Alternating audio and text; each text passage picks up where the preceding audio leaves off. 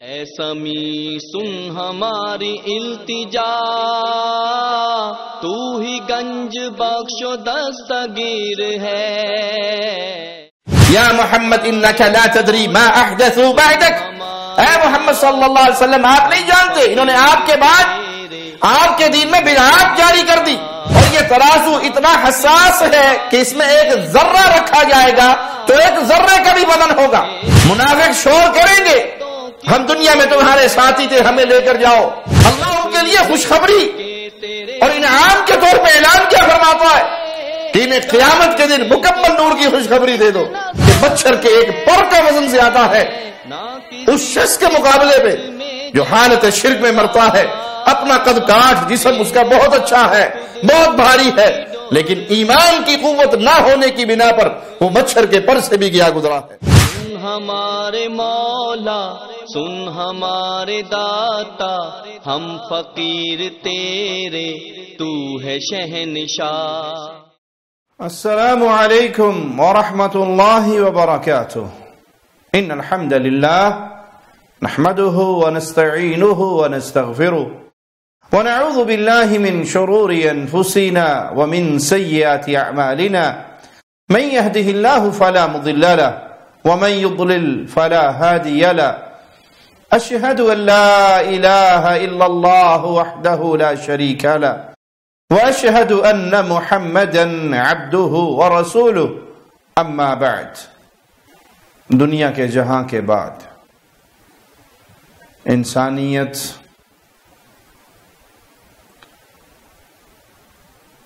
क़यामत के दिन मैदान हशर में अल्लाह मालिक के सामने पेश होने वाली है। ये दुनिया का जहाँ है जिसे हम अपनी आँखों से देख रहे हैं, महसूस कर रहे हैं। इंसान के मरते ही उसकी बरसखी ज़िंदगी शुरू हो जाएगी, फिर एक कब्र का जहाँ है, और फिर इन कब्रों से उठाया जाएगा। इंसान मैदान महशर में होगा। वो पेशी बड़ी खतरनाक है। जिस दिन सूरज एक मील के फासले पर होगा, इंसान अपने पसीने में गर्क होगा, अपने अमाल के हिसाब से, किसी का पसीना उसके टखनों तक, किसी का घुटनों तक, किसी का नाक तक, किसी का सीने तक और कोई अपने पसीने में गोते खा रहा होगा। जब सूरज इतने करीब तपिश शदीद तो इंसान को शिद्दत की प्यास लगेगी। इंसान आजिज आकर अपने अल्लाह के सामने सवाली होंगे। हिसाब किताब शुरू करने की दरखास्तें देंगे। अल्लाह मालिक अहले ईमान पर रहम फरमाएगा। हर नबी को एक हौज दिया जाएगा। और सबसे बड़ा हौज इमाम उलंबिया इमाम कायनात, इमाम आज़म मोहम्मद रसूलुल्लाह वसल्लम का होगा।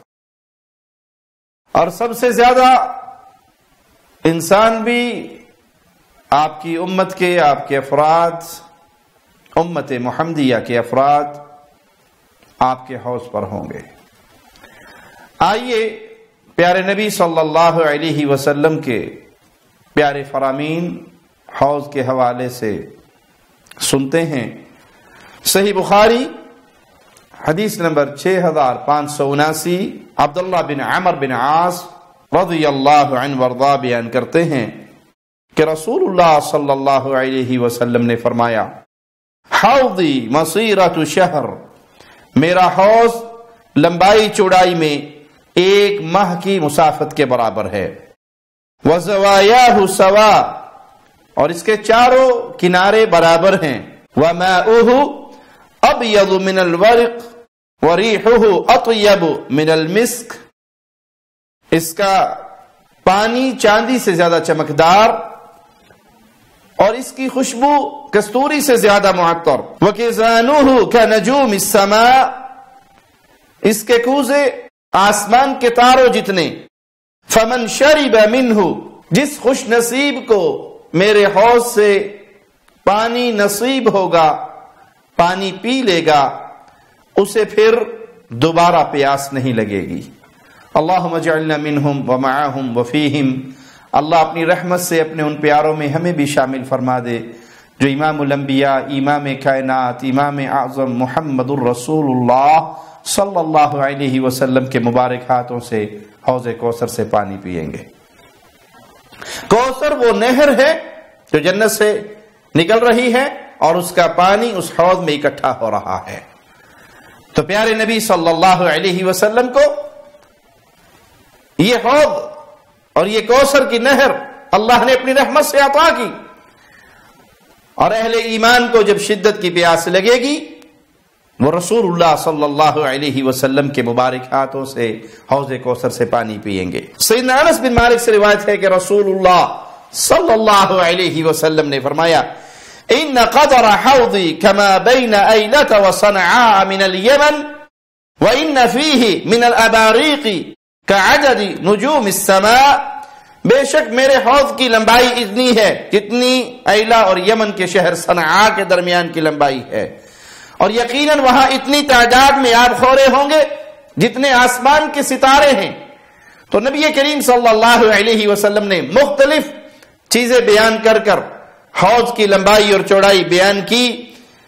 कहीं मुसाफत का ज़िक्र है, कहीं अयाम की, का ज़िक्र है ताकि जिसको जिस चीज़ का इल्म है, वो उसको, उसके मुताबिक सुनकर उस पर ईमान ले आए और उसका अंदाज़ा लगा ले। सईदना अनस बयान करते हैं कि नबी करीम सल्लल्लाहु अलैहि वसल्लम ने फरमाया, बैनमा अना फिल जन्ना मैं जन्नत की सैर कर रहा था। इदा अना बिनहर। जन्नत की सैर करते करते मैं एक नहर पर पहुँचा। जिसके दोनों किनारों पर खोलदार मोतियों के गुंबद बने हुए थे। कुल तुम्हारा मैंने जिब्रील से कहा यह क्या है?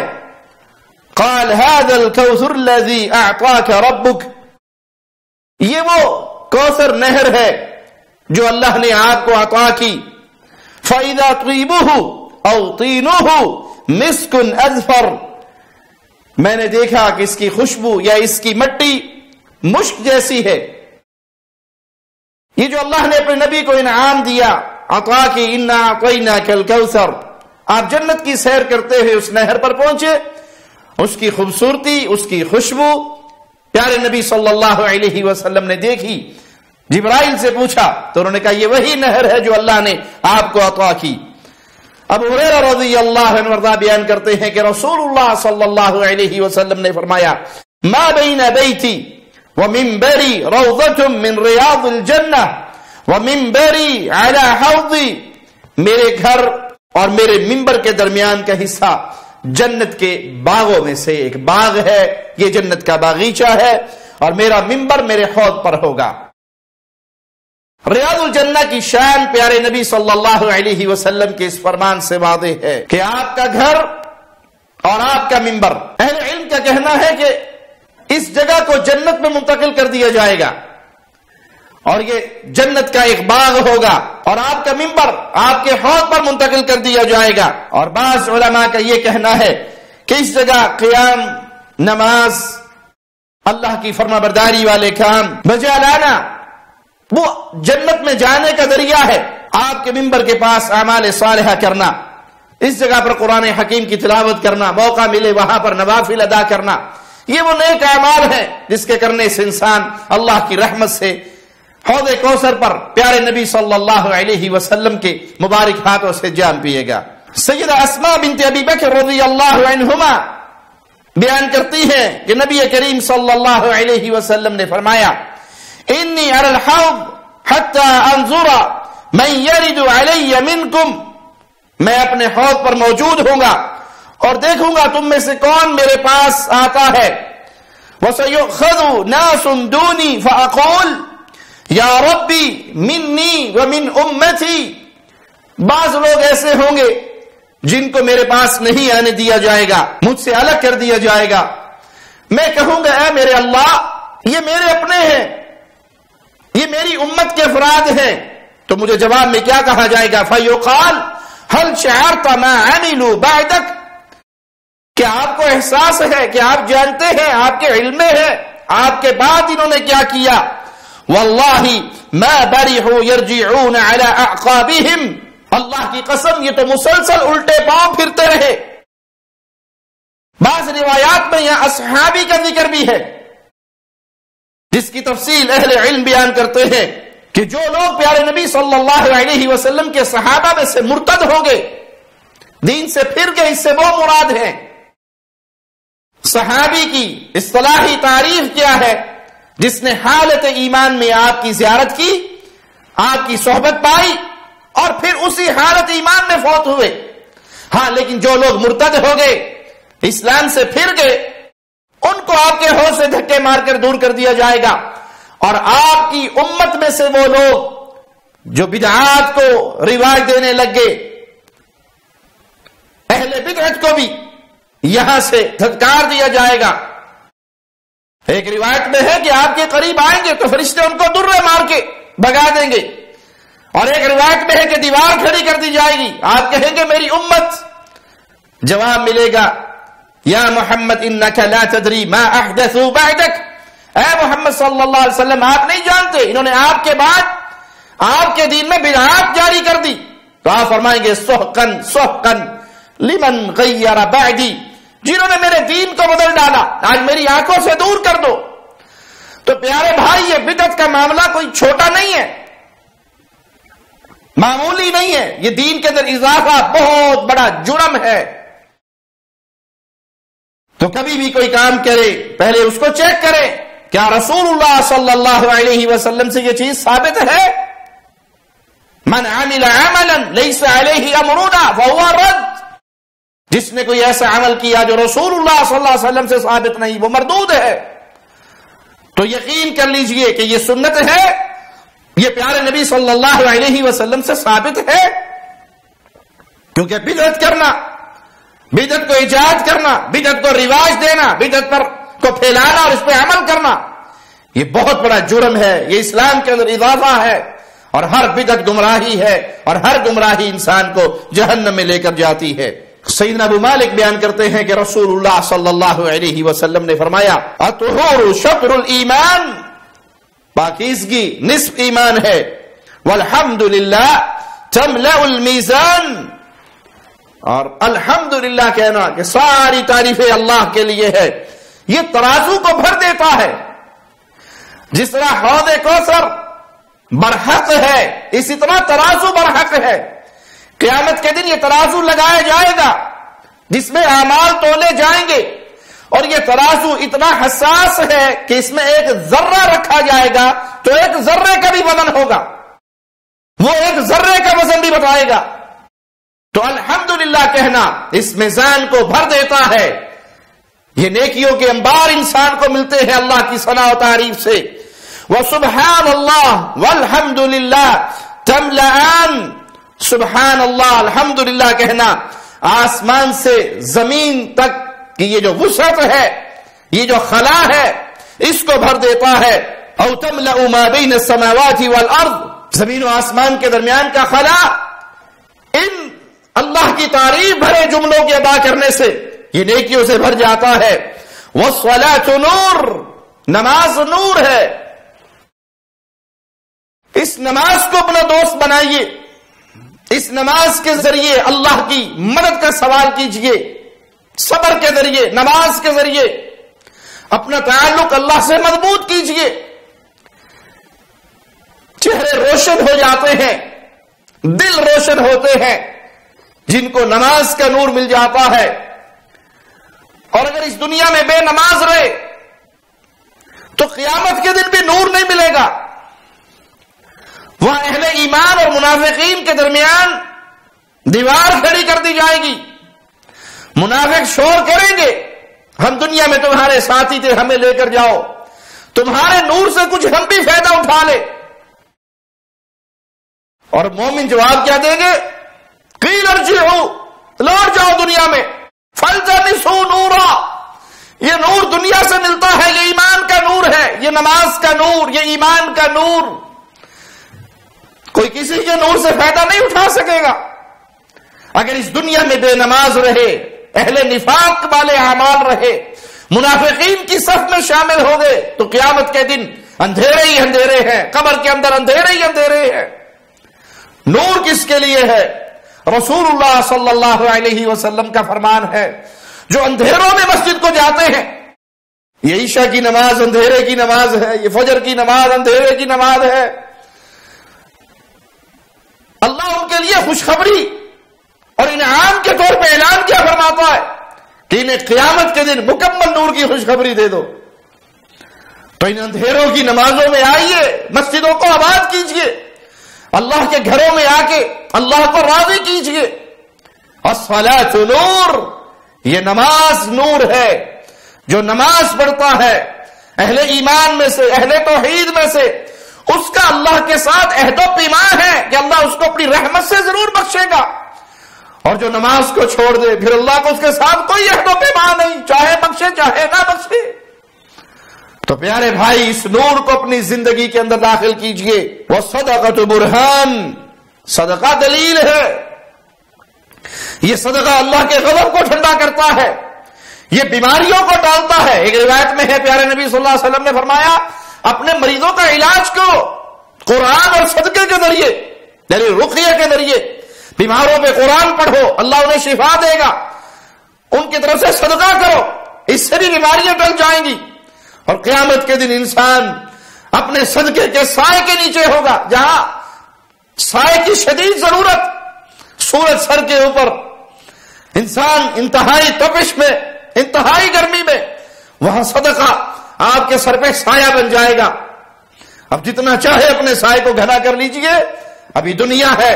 अल्लाह ने माल दौलत अतवा किया है।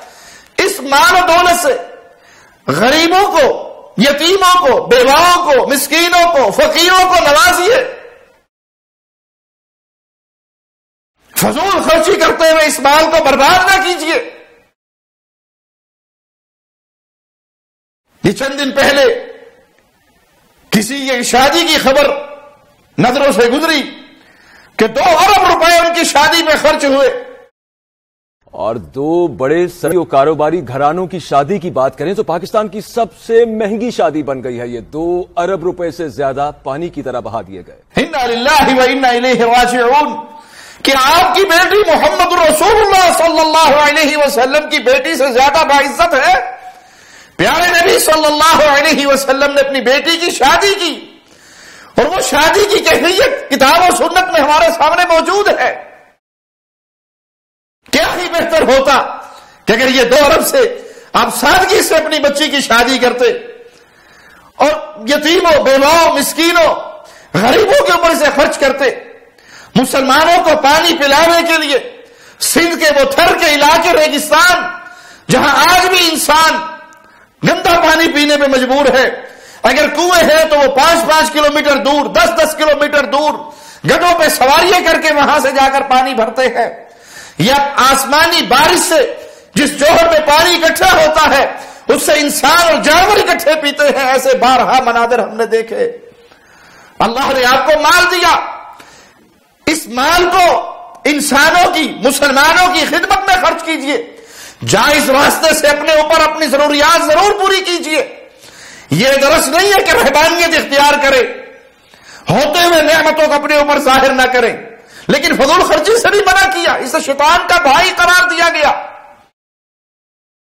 आपके इन पैसों से सैकड़ों मुसलमान बच्चियों के घर बस जाते, उनकी शादियाँ हो जाती। जिन माँ बाप के पास खर्च नहीं है अपनी बच्चियों को रवाना करने के लिए उनका मामला पूरा हो जाता। और जो आपको दुआएँ मिलती, इन गरीबों, यतीमों, बेवाओं, मिस्कीनों के मुँह से निकली हुई दुआएँ, वो आपको दुनिया और आखिरत में क्या कुछ अता कर देती। इतनी फजूल खर्चियों से जहाँ शैतान के साथी बने, वहाँ किसी की नज़र भी लगेगी। हसद भी होगा, दिल से गरीबों की आहें भी निकलेगी। और सबसे बड़ी बात, इस्लाम के खिलाफ के सारा अमल। आपने भले किसी मौलाना साहब को भी वहाँ पर बुला लिया आपने कवालों को भी बुला लिया। आपने दुनिया जहाँ का अपना पैसा बहाकर अपनी अमीरी का रोड दिखा दिया। अरे भाई अमीरी, कोई ऐसी चीज़ नहीं कि आप इसमें बड़े इतराए, कानून को अल्लाह ने बड़े खजाने दिए। लेकिन दीन की समझ, वो अल्लाह अपने प्यारों को ही देता है। काश इस माल के ज़रिए आप अल्लाह को राज़ी करते। शैतान को राज़ी करने का ज़रिया ना बनाए अपने माल को। तो इस ज़िंदगी के अंदर अपने हाथ से सदका कीजिए। इस ज़िंदगी में अपने हाथ से खर्च कीजिए। ये क्यामत के दिन आपके सर पे घना साया बन जाएगा। जिस दिन कोई किसी के काम नहीं आएगा, जिस दिन की पकड़ बड़ी शदीद होगी, जिसका बाया हाथ उसमें नामा अमाल पकड़ा दिया गया। फयकोल, या लईतनी लम ऊत किताबिया, वलम अदरीमा हिसाबिया, या लईतहा खानत कादिया, मा अगना अन्नी मालिया। बाएँ हाथ में अगर नामा अमाल किसी को मिल गया, इस मैदान में, इस हशर में, वो रोएगा वो चीखेगा, क्योंकि काश मेरा नामा अमाल मुझे ना मिलता। मुझे अपने हिसाबों की दाद की कोई खबर ना मिलती।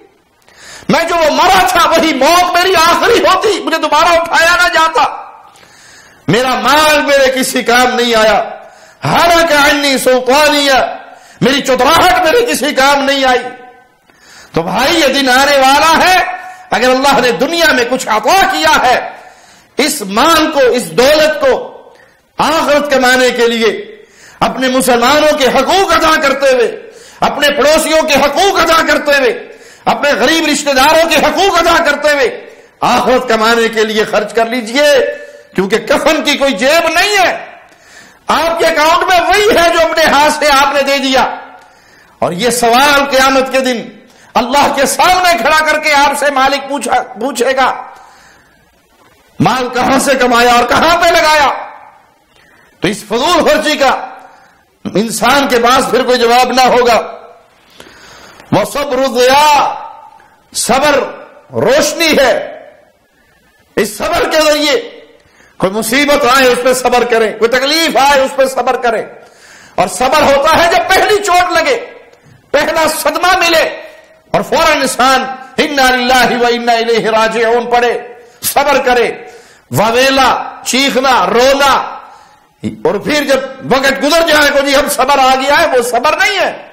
सबर यह है कि तकलीफ़ के वक्त इंसान फ़ौरन अल्लाह की तरफ़ रुजू करे और कहे, इन्ना ही वो इन्ना राजिऊन। जो चला गया, वो भी अल्लाह तेरा। हम बाकी बचे हैं, हम भी तेरे। हमारा अपना तो कुछ है नहीं, हम सब तेरे। जिसको जब चाहे तो अपने पास बुला ले। वल कुरान हजतुल्लक अलैक। ये कुरान हकीम ये फुरकान हमीद, याद कर लीजिए, या क्यामत के दिन आपके लिए दलील है, या आपके खिलाफ दलील है, या तो ये आपके लिए निजात का ज़रिया बनेगा, निजात की कुंजी बनेगा, या आपकी बर्बादी के फैसले होंगे। इस कुरान को सोच समझ के पढ़ें, इस कुरान के हुक्मों को अपनी ज़िंदगी में लागू करें, इसको अपना सफारशी बनाकर लेके जाएँ, इसको अपने खिलाफ गवाह बनाकर ना लेकर जाए। कुल्लुन्नास यबदू फबाय नफ्सहू फमोटिकुहा और मुबिकुहा हर इंसान दिन का आगाज़ करता है कुछ अपने अमाल के अपना सौदा करते हैं या फिर खुद को आज़ाद करवाते हैं या खुद को तबाह करते हैं आपके ये अमाल आपके लिए मेरे लिए या तो अल्लाह के दरबार में सफारशी होंगे कुरान कहेगा, अल्लाह, मैंने इसको रातों को जगाया। रोजा कहेगा, अल्लाह, मैंने इसको दिन को भूखा रखा। या ये क्यामत के दिन हमारे खिलाफ गवाही देंगे कि इस बंदे ने अपनी सारी ज़िंदगी हमसे मुँह मोड़े रखा, नेक अमाल से मुँह मोड़े रखा। तो भाई, ये ज़िंदगी सदा नहीं रहने वाली, बहुत जल्दी खत्म होने वाली है। अगला जहाँ बड़ी जल्दी उसका सफ़र शुरू होने वाला है, उसकी तैयारी कीजिए। उसके लिए मेहनत कीजिए। और वो सफ़र अचानक शुरू होगा। उसमें टाइम नहीं मिलना, मौका नहीं मिलना, तैयारी का वक्त नहीं मिलना। वो सफ़र अचानक शुरू होने वाला है। सही बुखारी, हदीस नंबर छह हज़ार चार सौ छह। अब रज़ी अल्लाह बयान करते हैं कि रसूलुल्लाह सल्लल्लाहु अलैहि वसल्लम ने फरमाया, कलिमतानी खफीफतानी अल लिसान। दो कलीमे जो ज़ुबान पर बहुत हल्के सकीलतानी फिल मीजान। और तराजू के पलड़े में बहुत भारी। हबीब अचानी रहमान। और अल्लाह को बहुत पसंद। ज़ुबान पे बड़े हल्के, तराजू में बड़े वजनी, और रहमान के बड़े पसंदीदा। सुबहान अल्लाह वबहमदी सुबहान अल्लाजीम ये जो दो जुमले हैं, ये दो कलीमे हैं। सुबहान अल्लाह वबहमदी सुबहान अल्लाजीम ये अल्लाह के यहाँ अल्लाह को बहुत पसंद। ज़ुबान पे बड़े हल्के, कहने में कोई टाइम नहीं लगता तो मेहनत नहीं लगती। इसको अपनी रूटीन बनाइए। इसको अपनी ज़ुबान से अदा करते रहिए। आपने अक्सर नौजवानों को देखा होगा, वक्त गुजारने के लिए चलते फिरते, वो या ज़ुबान से कोई गाने के बोल बोलते हैं, या उनकी ज़ुबान से सीटियाँ बजती हैं। वक्त गुजारी के लिए अपनी ज़ुबान पर मुख्तलिफ़ चीज़ें। तो प्यारे भाई, इससे बढ़कर और क्या मुबारकबादी होगी आपके लिए? कि आप चलते फिरते अपनी ज़ुबान पे अल्लाह का ज़िक्र जारी रखे। सुबहान अल्लाह ही सुबहान अल्लाजीम नतीजा क्या निकलेगा? कि आपका पढ़ना आपका मिजान भारी रहेगा। और अल्लाह के प्यारों में आप शामिल हो जाएँगे। ये मोमिन की शान है कि वो कसरत से अल्लाह का ज़िक्र करता है। और मुनाफी के बारे में यह आया है कि वो बहुत थोड़ा अल्लाह का ज़िक्र करता है। सईदना अब्दुल्ला बिन अमर बयान करते हैं कि अलैहि वसल्लम ने फरमाया फ़िन समावाती वल अर्द अगर आसमान और ज़मीन, और आसमान और ज़मीन में जो कुछ है, आसमान और ज़मीन की सारी मखलूकत ज़मीन में इंसान है, जिन है, पहाड़ है, दरिया है, समंदर है। दरिंदे, चरिंदे, परिंदे, अल्लाह की मखलूकत है। और आसमान और आसमान में अल्लाह की मखलूकत। प्यारे नबी सल्लल्लाहु अलैहि वसल्लम फरमाते हैं, अगर ये आसमान और ज़मीन अपनी मखलूकत के साथ लवुदियत फ़ी किफत मीजान, तराजू के एक पलड़े में इनको रख दिया जाए। फिल किफतिल उखरा। और दूसरे पलड़े में सिर्फ़ ला को रख दिया जाए। कानत अर्जह मिन हुमा तो ज़मीन और आसमान की सारी मखलूक और ज़मीन और आसमान ला के साथ अगर तोले जाए तो ला ज़मीन और आसमान पर और ज़मीन और आसमान की सारी मखलूकत पर भारी होगा। ये ला ये कलीमा तोहीद। ये इसकी कीमत है, ये इसकी कदर मंजिलत है, ये इसका मकाम और मरतबा है। और ये तभी फ़ायदेमंद है जब इसके मानी को समझे, जब इसके मफहूम को जाने, जब इसके तकादों के मुताबिक डट जाए कि अल्लाह के अलावा कोई इलाह बरहक नहीं, कोई इबादतों का हकदार नहीं। इबादत हक के साथ अगर की जाएगी तो वो सिर्फ़ एक अल्लाह की है।